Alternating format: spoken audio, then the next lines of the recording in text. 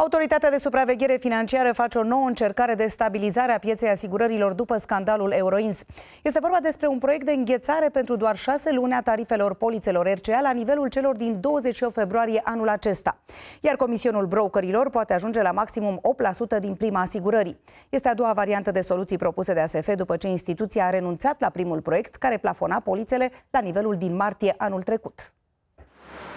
Autoritatea de supraveghere financiară explică în proiect că tarifele practicate de fiecare asigurător RCA la data de 28 februarie sunt în medie mai mici decât tarifele de referință publicate pe 7 martie anul acesta. Dorim prin această propunere să nu vedem o creștere a tarifului RCA în piață, deci să oprim o potențială creștere pe următoarele șase luni până piața se stabilizează și până când golul lăsat de societatea Euroin să fie împărțit către ceilalți jucători. Proiectul prevede și plafonarea comisionului brokerilor la maximum 8% din valoarea primei de asigurare. Firmele de brokeraj cer ca și comisioanele să rămână la nivelul celor din 28 februarie toate prevederile HSC-ului se vor referi la înghețarea uh, un, unor, uh, unor tarife, prețuri la o dată și nu o plafonare efectiv, cum este în cazul nostru, pentru că este acea prevedere de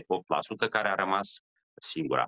Noul proiect al ASF vine și cu propunerea de limitare la 30 de zile a perioadei în care un servis poate oferi clienților o mașină la schimb până la finalizarea reparațiilor, iar costurile acestui serviciu decontate pe polițele RCA nu vor putea fi mai mari decât tarifele medii practicate de firmele care închiriază mașini. Noul proiect va avea nevoie și de susținerea Consiliului Concurenței, care este de acord în principiu cu plafonarea prețurilor RCA, dar pe termen limitat. De ce? Pentru că avem un șoc puternic în piață, nu? Sunt milioane de clienți Euroins care în perioada următoare trebuie să schimbe polițele de asigurare, trebuie să meargă la altă companie și evident că această schimbare da, poate să creeze perturbări în piață. Până să ajungă pe masa executivului, proiectul ASF trebuie să obțină avizele de la Ministerul Finanțelor, cel al Justiției și de la Consiliul Economic și Social.